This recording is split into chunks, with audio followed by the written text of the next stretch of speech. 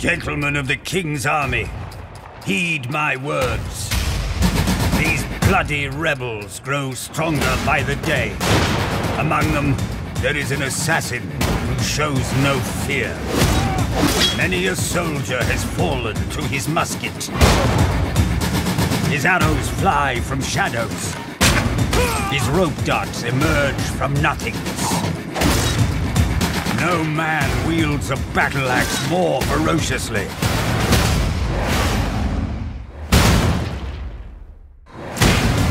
His weapons of choice are a tomahawk and blades concealed on his arms. But he has been known to wield several others.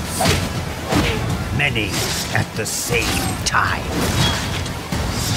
If you do not bring me his head,